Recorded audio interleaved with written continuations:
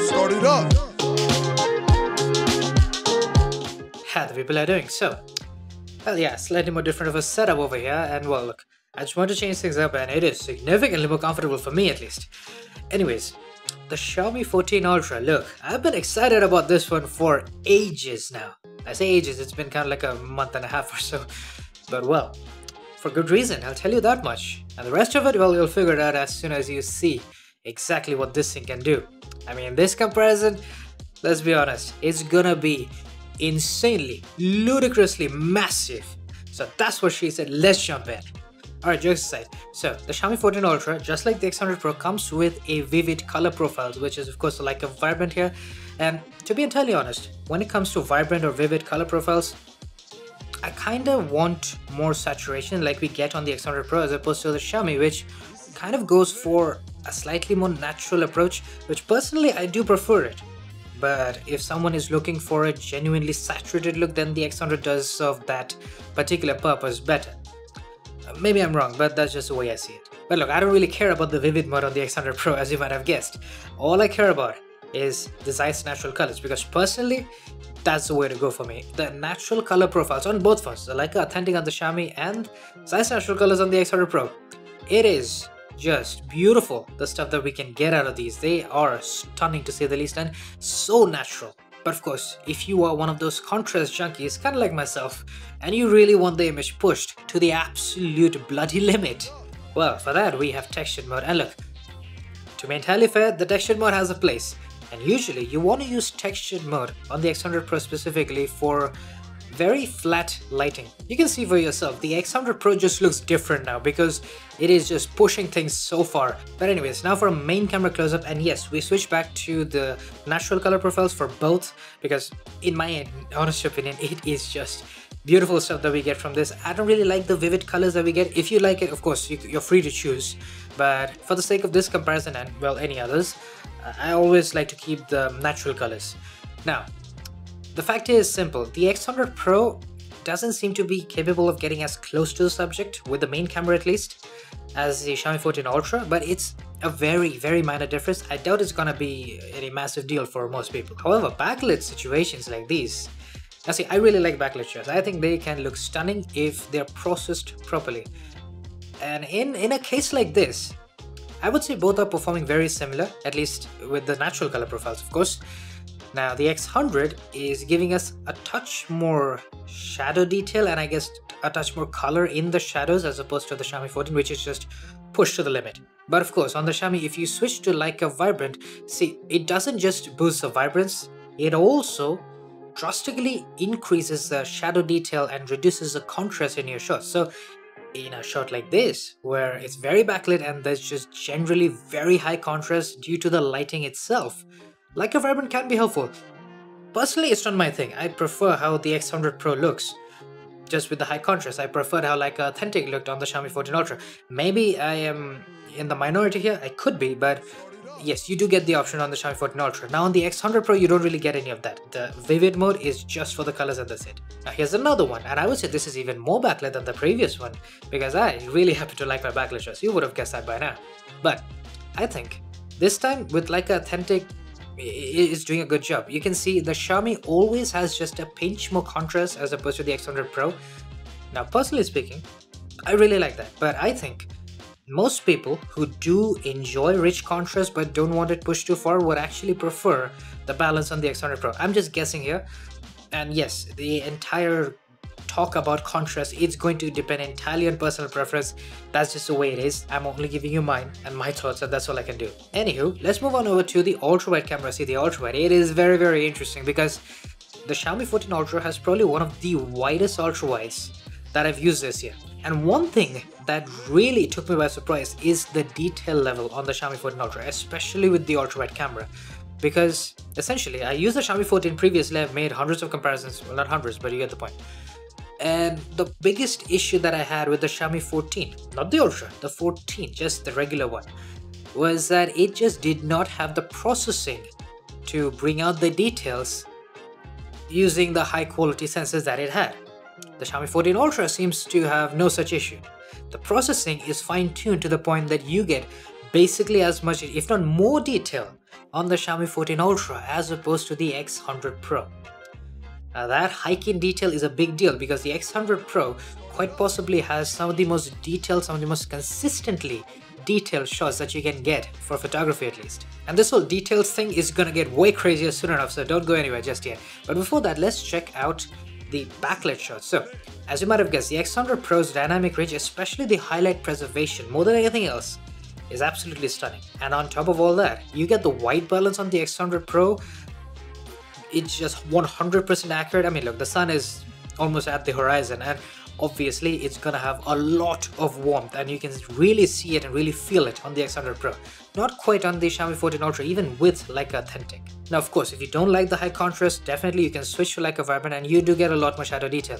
I kinda like that we have this kind of an option available to us. Now another thing that you can do not just with the ultra cameras but with the telephotos as well is macro mode on both phones and this is some good stuff right here. So the ultra-wide macro is not good enough on the Xiaomi 14 Ultra. You can tell immediately that the X100 Pro can get significantly closer, it looks significantly nicer as an image, and it's just better on the X100 without question. But the Xiaomi makes up for it because what both phones can do is use their telephoto cameras, which is 3.2x on the Xiaomi 14 Ultra and 4.3x on the X100 Pro, to take macro shots, and they will look good, no question about it. But you may have also noticed that the X100 can just simply get closer with the ultra wide camera alone. So why even bother using this? Well, I'll tell you exactly why. Because you can get an 8.6x with a sensor crop. Essentially, you have the 4.3x optical zoom and then you just slap a 2x sensor crop on top of that. that that's how you get the 8.6x. And it is stunning. Just look, this is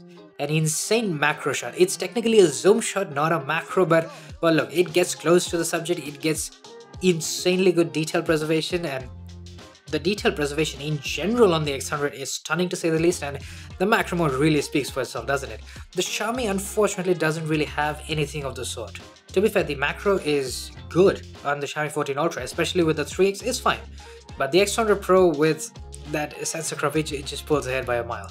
But anyway, since we are talking about zoom, let's check it out. So this is a 1x shot and immediately the one thing I noticed is that the Xiaomi 14 Ultra's colors are perfect and the slightly, a pinch high contrast that we have with uh, Leica Authentic.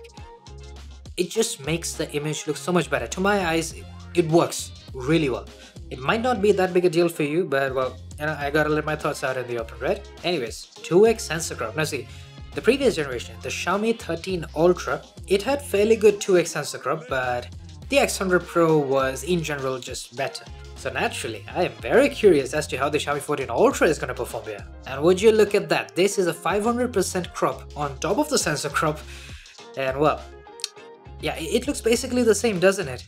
Very similar across the board, there's very minor differences, and the only reason I prefer the Xiaomi 14 Ultra here is because it has slightly higher contrast and I kind of prefer the way it's handling the colors. That's it. The detail preservation is basically equal across the board. Now then for 3x. See, you might be thinking, well, the Xiaomi 14 Ultra has a 3x telephoto sensor just for medium range zoom. Obviously, the X100 Pro cannot keep up, right? Maybe not, because one thing that I know for a fact is that the X100 Pro has insane processing and it can do some borderline magic with the main camera alone. And to prove my point, here it is, 500% crop on both of these. The Xiaomi is cropping into 500% from a 3x telephoto sensor, which is a fairly nice and high quality sensor that we have. The X100 Pro is doing this digitally entirely from the 1x zoom or the 1x sensor, which is a very high quality sensor, no doubt, but it's 1x and it can produce this level of quality that rivals telephoto sensors. Look, I'm telling you, it's like bloody magic, isn't it? Because you know, there are gonna be some portraits soon enough you'll see that I took at 75mm which is essentially a 3x and once again the X100 Pro will look like you just took it with a 3x telephoto sensor even though it has nothing like that. Anyway, let's move on to our final telephoto camera which is a 5x on the Xiaomi and the 4.3x on the X100 Pro. Now overall it looks pretty damn good. I don't really like the colors on the Xiaomi this time around. I think they basically look the same on both phones and I really liked what Xiaomi was doing with the colors and the contrast in the previous shots, just wanted to point it out. Now of course look, these are very high quality sensors and you'll see sooner why I say that because this is a 10x shot and you can tell it looks really good. If anything the yellow on the X100 Pro is looking much better, much more natural as opposed to this almost like nuclear color that we're getting on the Xiaomi it's uh, probably a processing issue that we're having, but the detail level is pretty much the same. Now, this is a 30x shot and it's, it's basically the same across the board. Both of them have tremendous amounts of detail. I kind of like the high contrast on the 14 Ultra again. Yeah, big deal. I like high contrast. How could that happen, right? Well, anyways, it's just it's really good and you're not gonna have any issues is basically what i'm trying to say here now let's move on to high res so obviously once again every single rear camera can do high res so we have a lot of options going on here this is with the main camera. And when we crop into 500%, you can tell that both are very very close. I think the Xiaomi 14 Ultra has maybe a pinch less detail, even though the Xiaomi has higher contrast, which usually embellishes the details, but I, I still think that the X100 Pro has like a little bit more sharpness in some of the finer details and finer parts of the leaves. It's a minor difference, of course, but well, in high res, I guess it can become worthwhile. Now then with the ultra wide camera, once again, 50 megapixels on both. And see, the problem with the Xiaomi 14 Ultra, I, I shouldn't say problem, that thing with the Xiaomi 14 Ultra's ultra wide is that it is so wide that making up for it can be very difficult, so I didn't even try. So when we zoom in, you'll notice exactly what the issue is. Yeah, you can tell right. I put a 500% digital crop on both and the X100 Pro looks like we zoomed in so much further, but well, that, that's just a field of view on the Xiaomi 14 being significantly wider.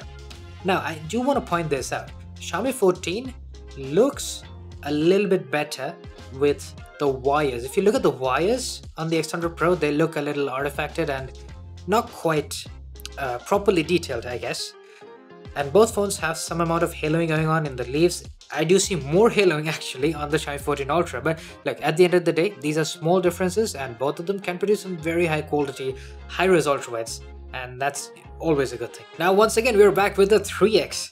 See, 3X regular 12 megapixel shots, they were pretty much neck and neck on both. Now, how about high res? Does the 50 megapixel mode on the Xiaomi 14 Ultra make up for it? Well, it just, uh, damn. Does this not blow your mind into smithereens? Because it sure as hell blows mine apart. The fact that the X100 Pro is keeping up with the 50 megapixel mode on the Xiaomi 14 Ultra's 3x telephoto. And look, I say keeping up, but I do think the Xiaomi has more realistic detail, less artifacting, less sharpening going on, and slightly less grain, especially on the face of the dude in there as well. But for a completely digital crop on the X100 Pro from the main camera, this is insanity. Well anyways, now let's check out the 5x and the 4.3x and both of them are very high quality as you would expect but with the 50 megapixel mode in particular, maybe it's because the Xiaomi has a better sensor or maybe because the processing is much more fine-tuned but all I can tell you is this, the X100 Pro seems to have much more processing artifacts and sharpening going on which it doesn't look as nice, now does it? Now with that done, let's talk about human subjects. Well, there's only one subject here, my dumbass. Uh, with the selfies, yeah, this is kind of a screw up on the X100 Pro. It usually doesn't come out looking this ridiculous and weird. The Xiaomi is doing a perfect job, by the way. To be fair, it did fix itself immediately in this shot, and this is also a slightly more challenging shot as opposed to the previous one, so I don't really know what happened there, but I don't really face such an issue in general when I use it, so I guess that's a one-off problem. Now, in this case, I do prefer the Xiaomi 14 Ultra. Guess why? High contrast, of course. Well, I mean, that's not news. And yes, I understand. Whether you prefer the high contrast or not, that's going to depend entirely on you, so I'll leave it up to you guys. Now, in this case, surprisingly enough, wow, these two look bloody identical, don't they? Like, damn. It, it almost looks like I took the same shot on the two phones. It's just... It's very, very similar, isn't it? Even the contrast looks similar. The lens flare is also very similar on both. Like, wow. Now then selfie portrait. So, the blur in the background is very interesting on both. So the X100 Pro, of course, you get a whole bunch of options. You can choose which kind of blur you want. I really like the biotar effect, which gives you this swirling kind of elongated bokeh, which is, it looks good for me. And you, you can choose from other stuff. The Xiaomi, it goes for kind of a natural route in terms of the bokeh, but you can tell it looks natural, but also very stylish and very chock full of bokeh is the best way to put it. And while the selfies themselves, they look very nice. There's no complaints in that regard from my end at least. Even in a case like this, it's very similar. I kind of like the skin tones on the Xiaomi a little bit more, but it's such a small difference bloody tiny that it almost doesn't even matter because both can produce really good shots as you can tell by now. However, in this backlit selfie portrait, the X100 Pro stays rock solid. Its consistency is quite something. Yes, it can screw up sometimes, but most of the time it is beyond consistent and you can tell that this is where the Xiaomi is struggling a little. It is lacking a lot of the contrast that we get on the X100 Pro and it's good, but it's not nearly as good as the X100. Now the night selfie, you see, I'm kind of disappointed that Xiaomi still hasn't fixed the night selfies.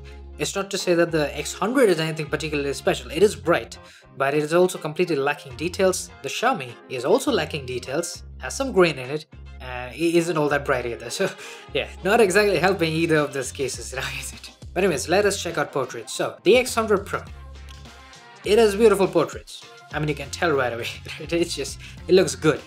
The Xiaomi it has two modes and I think the way it works is that you're supposed to use either of these modes depending on the situation and depending on the lighting.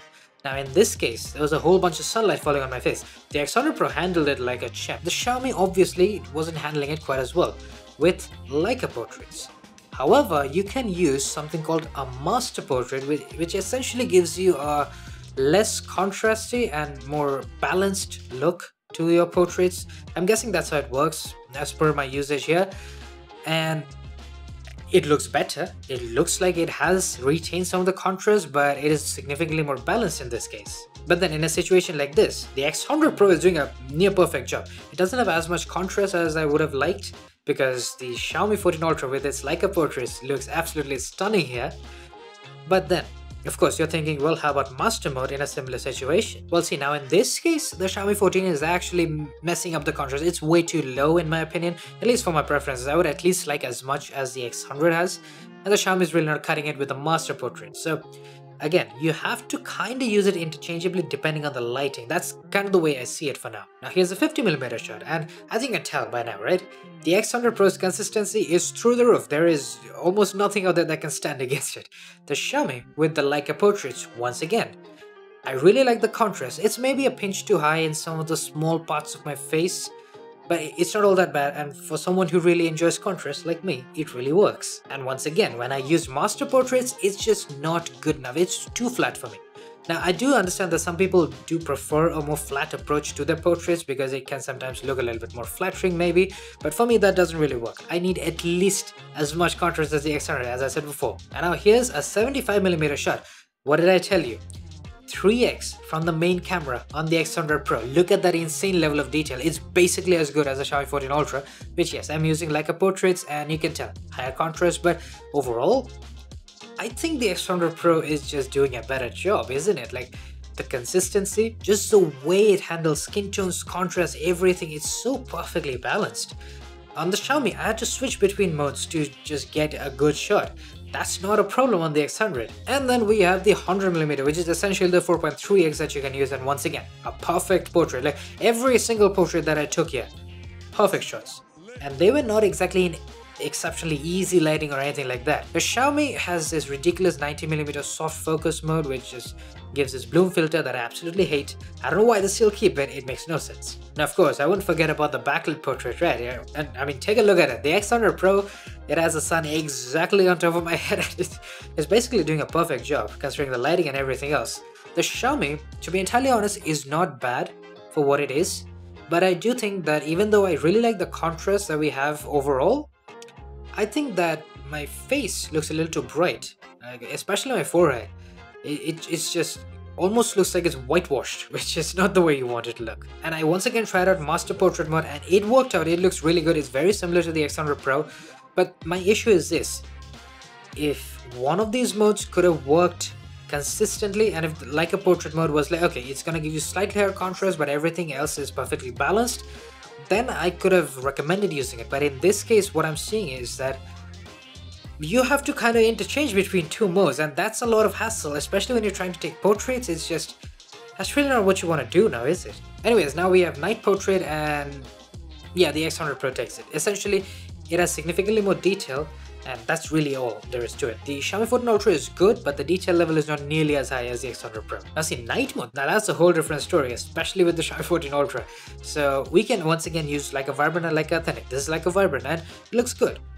And the X100 Pro, look, it has incredible night mode, very high detail preservation, very good noise reduction, all that jazz. But I, I think most of the time it is just a little too bright. And for that purpose, we have Leica Authentic on the Xiaomi 14 Ultra, which is stunning. In my opinion, for my eyes, for the way my goddamned mind works, it's perfect. This is exactly the kind of shot I would want. It's just bright enough to give me enough shadow detail to appreciate the processing and all that jazz that goes into the night mode, but it doesn't brighten it excessively to the point that it almost looks like daytime. Now, I've been singing the praises of Leica Authentic at night for the Xiaomi 14 Ultra. Well, there is indeed a situation where it kind of falters. You see, when you have high contrast lighting like this one right here, the X100 Pro, it just works out perfectly, doesn't it? The Xiaomi 14 obviously looks way too dark and to be completely fair, this is how it looked when I took the shot, well mostly. But because of that quote-unquote realistic approach on the Xiaomi 14, you do lose out on a lot of detail. Another perfect example right here, very dark situation and the X100 Pro with the natural brightening that it does, it helps out. So in general, when you have really low light situations, the X100 is just gonna do better. But anyways, ultra low light. See now this is an interesting situation. Now you might be thinking what the hell is even happening with the colors? Let me explain. You see, I got one of these uh, digital candles. Essentially, there's an LED inside that kind of glows like candles would. And it's, it's very orange, to say the least. Not warm light or anything like that. It is orange. And especially when the X100 Pro, with the higher exposure, it brightens it up. That orange is amplified all the way to high heaven. The Xiaomi 14 Ultra, on the other hand, even though it has very good detail preservation, I would say even a little bit more sharpness as opposed to the X100 Pro, the color is completely off. Now then the ultrawide camera, see, it's a very similar situation, very high contrast lighting that we have got here, and I think both are doing a very good job in terms of contrast. It looks absolutely stunning on both.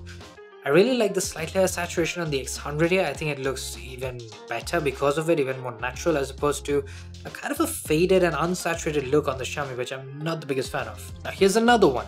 And yes, I get it, I took far too many high contrast shots and I didn't really realize it at the time, but it really is a situation where the Xiaomi 14 Ultra, despite its night mode being one of my favorites, it doesn't really work out all that well. This is a situation where the X100 Pro shines as you would expect and it really does, doesn't it? Now this right here, I would consider this to be like the ultra low light shot for the ultra wide camera because man, this is, it was so dark.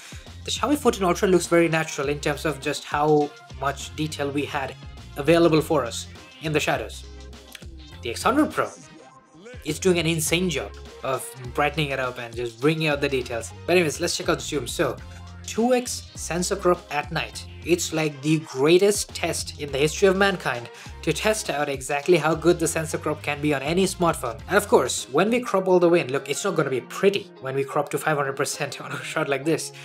But uh, it's close, isn't it? Like, you're getting pretty much similar level of detail, I would say. The Xiaomi 14 Ultra is evening the playing field, as I said. Now than 3x, see, the 3x thing is very interesting on the X100 Pro, as you would expect. But, well, the problem I had with the Xiaomi is that it kept giving me some motion blur. Even though uh, I took multiple shots and I held my breath for a few shots, nothing helped. Now cropping in, and you can tell, the Xiaomi 14 obviously has a little bit more detail. It should, at least at night, right? Like, I mean, what's the point even of having a telephoto camera if it cannot outperform digital zoom? Like bloody hell. But you can see the motion blur is a real issue and I don't really know why it kept happening. Even if I had the exact same problem. I'm telling you, I took like 10 shots, I ran out of breath after a certain point. But uh, it just it did not want to give me a good shot, a crisp shot. The X100 Pro, funny enough, it took a longer exposure, but it still managed to produce a perfectly crisp, zero motion blur shot.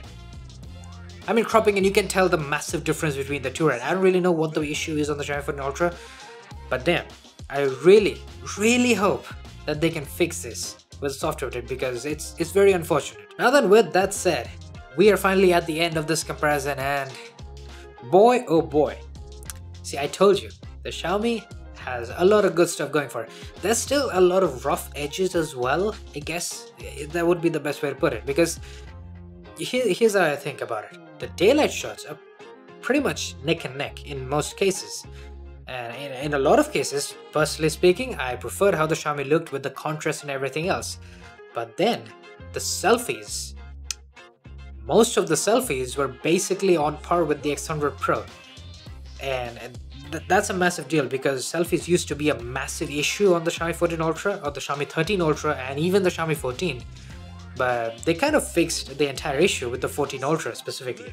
But then we go to portraits and look, portraits are a bit hit and miss because in my opinion, yes, I think personally for me, like uh, portraits, which is a higher contrast portraits that we get, that's the way to go.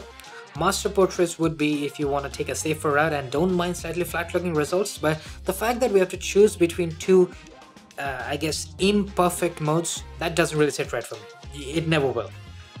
Then we have night mode, which is, look, in general, the night mode with the Xiaomi 14 Ultras, Leica Authentic, it's just gonna be significantly more natural. You're gonna get much better, much darker, much more natural looking night skies, much more natural contrast, and in my opinion, that's just a better way to go. But with all that said, man, I've been talking forever. Damn.